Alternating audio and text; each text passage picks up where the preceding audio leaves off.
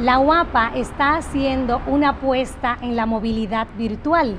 que nos garantiza el eje de Iber virtual. Nosotros ya hemos tenido algunas experiencias de movilidad ya de manera presencial y ahora queremos vivir esta de manera virtual para establecer un poco las diferencias en beneficios, ya que la movilidad presencial genera unos gastos, eh, una separación del ambiente de trabajo, del ambiente familiar, y en esta queremos conseguir